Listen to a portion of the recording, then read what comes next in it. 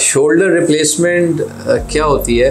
और यहाँ पे पाकिस्तान में तो बहुत कम होती है। इंग्लैंड में बहुत कॉमन ऑपरेशन है। ये टोटल शोल्डर रिप्लेसमेंट या रिवर्स शोल्डर रिप्लेसमेंट आज मैं आपके इसके बारे में थोड़ा सा ब्रीफ बताऊँगा ताकि आपकी मालूम में इजाफा हो। मेरा नाम डॉक्टर मार्कियानी है। मैं ऑर्थोपेडिक सर्जन हूँ। मैंने स्पेशलाइज किया हुआ है जॉइंट रिप्लेसमेंट में और स्पोर्ट्स इंजरी में जब शोल्डर अगर या तो फ्रैक्चर की वजह से या किसी वजह से अगर शोल्डर में आर्थराइटिस आ जाए तो उस आर्थराइटिस की वजह से अगर कंधा बिल्कुल जकड़ा जाए और अंदर से डैमेज हो जाए तो उसके बाद उसका हल जो है वो जॉइंट रिप्लेसमेंट ही है। और कब हमें टोटल शोल्डर रिप्लेसमेंट की तरफ़ जाते हैं और कब हम रिवर्स शोल्डर रिप्लेसमेंट की तरफ़ जाते हैं वो डिपेंड करता है कि अगर रोटेटर कफ काम कर रहा है या नहीं। ओल्ड एज ग्रुप में अक्सर ये रोटेटर कफ मसल्स होते हैं जो पीछे स्कैपुला के पीछे लगे होते हैं और ये आगे, इधर आके जो हेड ऑफ़ ह्यूमरस है ट्यूबरोसिटी के ऊपर ये टेंडन लगे होते हैं। जो तीन इंपॉर्टेंट टेंडन होते हैं, उनमें सुपरस्पेनेटस इन्फ्रास्पेनेटस और ये सब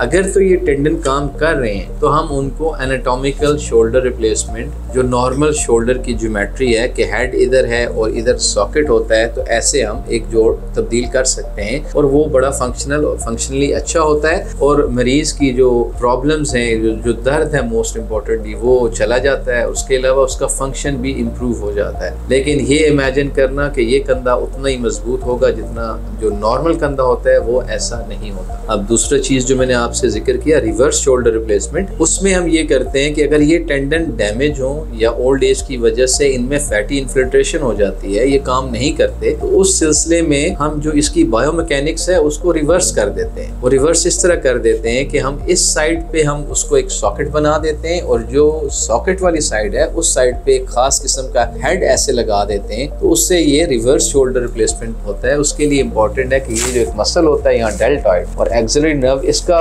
इंटेक्ट होना नॉर्मल होना बहुत ज़रूरी है। ये कामयाब ऑपरेशन है। अनफॉर्चुनेटली uh, पाकिस्तान में मैं प्रैक्टिस कर रहा हूँ तो मोस्ट ऑफ़ द टाइम मुझे ये शोल्डर का जो आधा जोड़ तब्दील होना है हेमी आर्थोप्लास्टी वही लोग करा सकते हैं क्योंकि जो टोटल शोल्डर रिप्लेसमेंट है या रिवर्स शोल्डर रिप्लेसमेंट है पाकिस्तान में काफ़ी एक्सपेंसिव तो मेरी एडवाइस आपको ये है कि आप अपना सेहत का ख्याल रखें। रेगुलरली अगर एक्सरसाइजेस करते रहें तो आप आर्थराइटिस से बच सकते हैं।